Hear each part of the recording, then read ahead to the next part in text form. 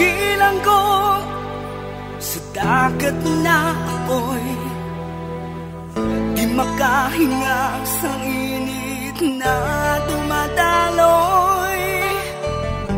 Ialay mo ang bagong pag-asa Sa tulad kong nasadlap sa pagkakasala. Provincial Jail Kasaysayan sa mga tinugang ang inakabuhi naging bahin sang Provincial Jail sa diin ang apat kapamusod sang pader naging lulubngan sang ilang mga handom kag mga kalipay nga naging saksi man sang ilang mga pag-antos kag kabudlay kag paghinulsol. Litong-lito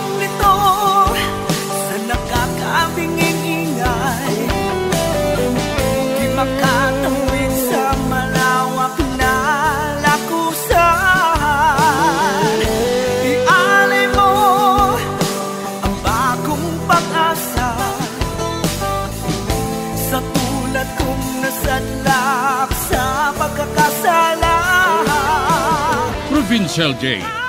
Makigupod kita sa ila pagpanarambiton, kag makigbahin kita sa ila kalipay, kag pag-antos, nga ilaman na agong sa Provincial Jail.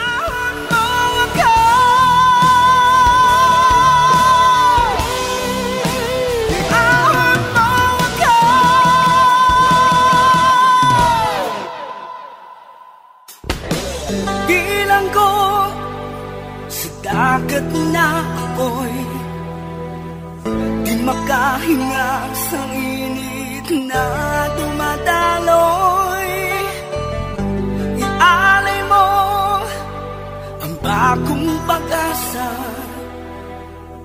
Sa tulad kong nasadlak sa pagkakasala. Sa liwat may adlaw sa inyong mga palangganabong nga tagparamati, sa karon nga adlaw padayunon naton ang kasugpun sang sulat nga ginatagan naton sang kabuhi diri sa aton panatuntunan Provincial Jail.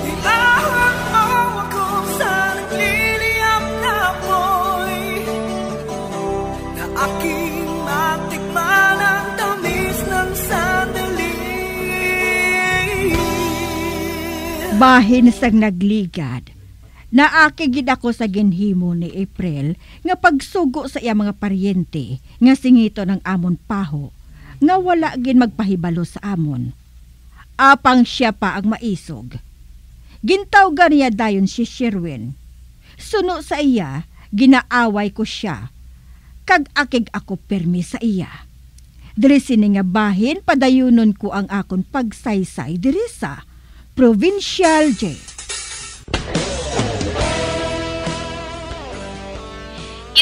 Ginapasensyahan ko na lang gani si nanay muga. Amoy ng ginahimo ko. Pero, nagaugtas man ako sang sikreto gaay. Kag kun magpadayon paning akon konsumisyon, basi kun mahulugan na ako sini. Ano? Oo, Sherwin. Kagabi mo, nagsiling ang doktor nga kinahanglan kong malinong nga lugar. Kag hindi ako pwede nga mag-ugtas. Kay piho nga mahulugan gid ako. Kung magamusin na nga hindi na ka mo magilibaot ni nanay, mayo pa nga magpangita ka na sang balay nga imo arkilahan. Amo man ganin ang plano ko ga eh. Luya ko nga maglikaw na lang sa kay nanay mo. Kay kasabat kidya. Hindi ako makasaw sa niya batasan. Maayo man niya si tatay mo Anselmo how. Wala man siya nagaano sa akon. Ah, amo na iya si tatay. Wala na iya gamoy. ah. Kagabi mo ga. Nagsiling pagit si nanay mo. Nga kung wala na kuno ako sa inyo. Hindi na niya ako pagpartiyan sang kwarta nga ginapadala mo sa iya. Ginambal ina ni nanay? Oo ga. Kag nagasakit gid yung buot ko ga. Apang ginatulon ko na lang ah. Tungod bisan paano. Makaya ko pa man nga tundon. Ganyang mayo pa. Mangita na lang matuod ako sa markilahan nga balay.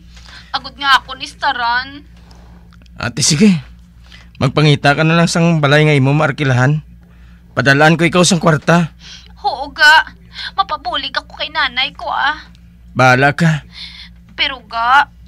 Ang kwarta ya? Kay sino mo ipadala? Kay nanay mo man balagi hapon? Hindi. Sa imo eh. Sugod karon, padalaan ko ikaw sang kwarta. Imo na ginaya. Kag wala na dasang labot si nanay. Matuod? Oo. Sa sina, hindi na ka mo magamo nga duwa. Padalaan ko ikaw, kag padalaan ko man si nanay. Ay, pilang ipadala mo kay nanay mo? Ang napadala ko sa iya permi eh. Pero Sherwin, may bata na kita sa hindi madugay. Kinahanglan nga makasupot kita. Kag nga nga padalaan mo pagid si nanay mo, haw. Kay wala naman na sila nagakinahanglan sang kwarta. Tigulang na na sila yaga. Sa akon mo na lang ipadala ang kwarta, ah. Kay ako na lang ang mahatag sa ila. Makabalugan niya ako nga padalaan mo siya sang kwarta. Hmm, maakigid ako sa imo, ga. Ako na yung asawa mo.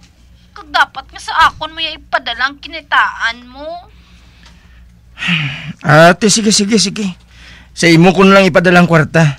Babayin na lang si nanay. Basta ga, ha? Oo ah. Ikaw masunod, April. Mig,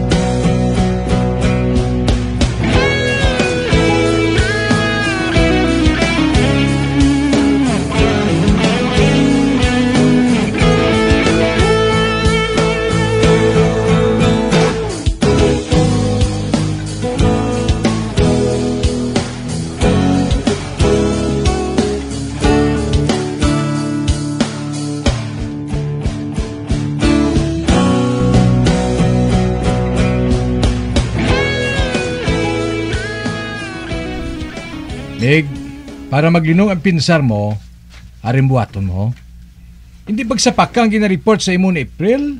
Ha?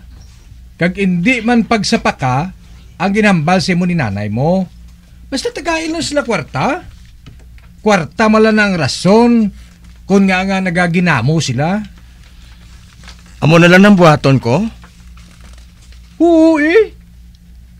Amo giman ang permi ang problema sa mga OFW may kwarta.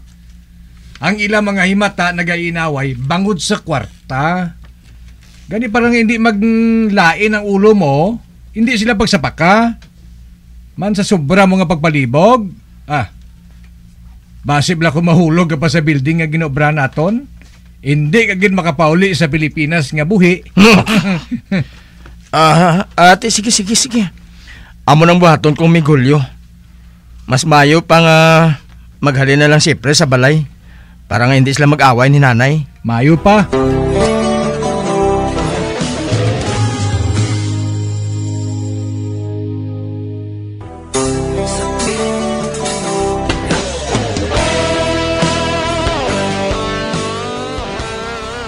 Ginhambalan ni April si Sherwin nga hindi siya gusto nga padalaan ako sang kwarta. Apang ginpahangop ni Julio si Sherwin nga hindi na lang kami pagsapakon para nga hindi maglibog ang ulo niya. Sa pagpadayon ko pagin, bay, April, nga nga nagapanghimos ka, sa diin ka makadto. Nakakita na ako sang balay nga masayluhan ko na ah. Mm. Ano? Masaylo ka? Oo. Ote, nakahibalo na sini si Sherwin? Oo eh. Siya ganing nagsiling nga mangita ako sang balay nga sayluhan ko. Kag nakakita na ako na ah. Mayo man ina. Kay wala ka na sang ugtasan kung wala na ako diri. Base kung anong ginhambal mo kay Sherwin, ha? Makahibalo man gihapon ako? Titaw gitong bata mo ah. Tanawon ko lang kung anong yambal niya sa imo. Kag anong ihambal niya sa akon? Ambot siya yay. Basta amo na ah. Ang gusto ko lang nga maglinong na. Kag matabo lang ina kung wala ako diri. Amo man inang gusto ko, April, nga madula ka dire. Kay mapatay ako sa ugtas sa imo. Hindi lang sa imo, kundi pati na sa imo pamilya. Ay, April, makaluluoy man ang akon anak ka nagasagod sa inyo tanan. Dapat tani, ikaw lang ang iya saguron. Kali kay pati ng imo mga hinablos, pati ng imo mga utod na partihan mo pa sang kwarta ni Sherwin. Ay, para ka makahibalo. Wala yan nagapangayo ang mga utod ni Sherwin sa iya. Hindi pareho sa imo nga pating ismagol sang imo hinablos. Isalig pa ninyo kay Sherwin? Huya-huya man abi ka mo? Um, sige lang. Kay makaabot inatanan kay Sherwin. Makaabot inang ginapanghambal mo sa akon. Kag ako ang patihan ni Sherwin, kag hindi kay ikaw. Kag nga nga ikaw? Heh, Nagapati sa akon si Sherwin. Ikaw ang iya ginahulid, haw? Ako, no? Kag amo ina, nga akong patihan niya, hindi ikaw. Bisan singko, hindi na siya maghatag sa imo kung hindi ko gusto. Mamantinir na lang kamo asin. Ay, abaw! Kahangin nira sa imo kung maghambal ba? Makaabot kay Sherwin ang ginahambal mo nga ina. Ay, ah, wala kuya mahadlok. Heh, tanawon ko lang. Kung hindi ka magpareho sang agipo nga ginsuli. Maglayas ka na dire, April, ha? Layas! Oo ah! Ara dayon!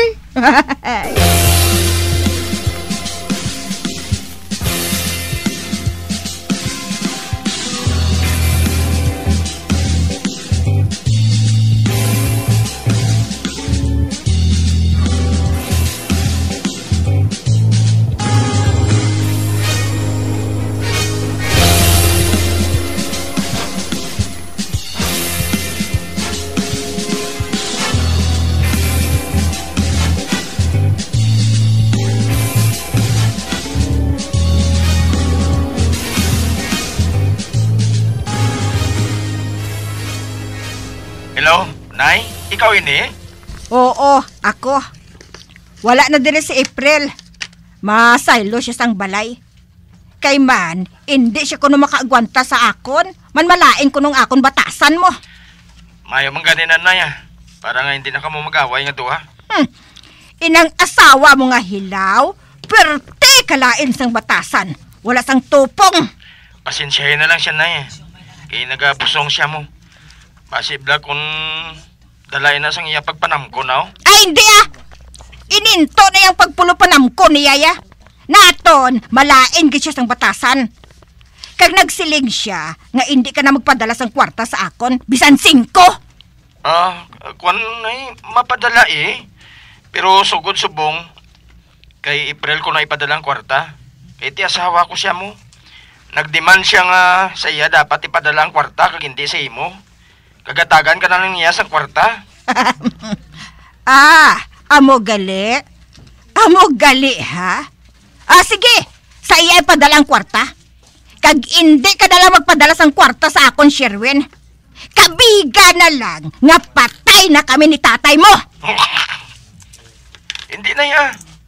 Papadala ko sang kwarta sa inyo ya. Ang gusto ko lang ya, nga maglinong na kamo. Iti, wala man dira si April mo. Nagasakit ang buot ko. Nga si April Galea mo ginapatihan mo subong Sherwin. Samtang ako nga iloy mo, nga wala sang ginapaminsar, kundi ang kaayuhan mo. Amo pa karon ang nagwa ang malain. Hindi na ya. Wala ko yung magsiling nga malain ka. Ano nga wala man? Matagagin siling sa ako ni April. Nga siyang ginapatihan mo, kag hindi ako. Kay man, siyang nahulid mo mo. Gani sige, patihi siya. Ako iya, hindi ko ya maghilabot sa inyo. Kag amo na ining katapusan nga pagtawag ko sa imo. Ining cellphone nga ini, ihaboy ko ini sa turugban. Amo lang ina, bye! Oh, nay?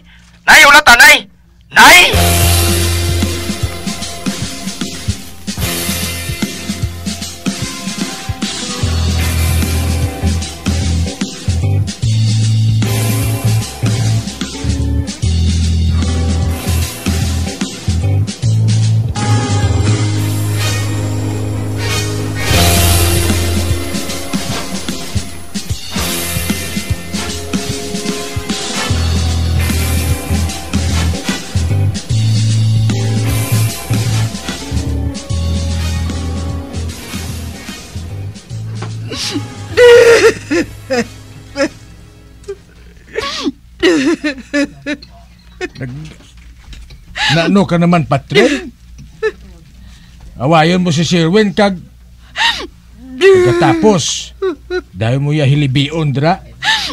Anselmo, nagasakit ka diyang buot ko mo. Si April yung ginapatihan niya, kag hindi kay ako.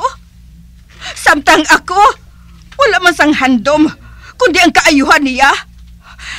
Ako pa yung subong ang malain? Oh! Kasakit ka sang dughan ko, Anselmo. Kasakit ka dyan. Do sa maguba ang dughan ko. Do sa maguba.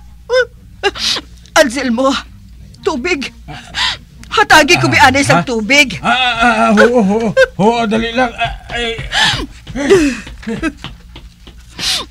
Ang wala sang huya nga babae.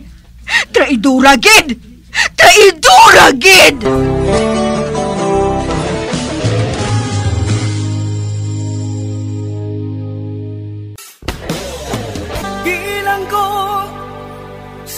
dagat na apoy Di makahinga sa init na dumadaloy? Ialay mo ang bagong pag-asa Sa tulad kong nasadlak sa pagkakasala. Magabiyan sundagin ninyo sa pagpamati ang mga kasugpon sang sulat ni aton man ginatagan sang kabuhi diri sa atong patuntunan Provincial Jail. Kag kami diri sa gihapon wala gid kakalipat sa pagpangagda sa inyo. Gakun kamo man may kasaysayan, ipadala lang diri sa atong palatuntunan Provincial Jail DYWB Bombo Radio Bandalagan Siyudad Sang Bacolod sa direksyon ni Melvin Gatuslao.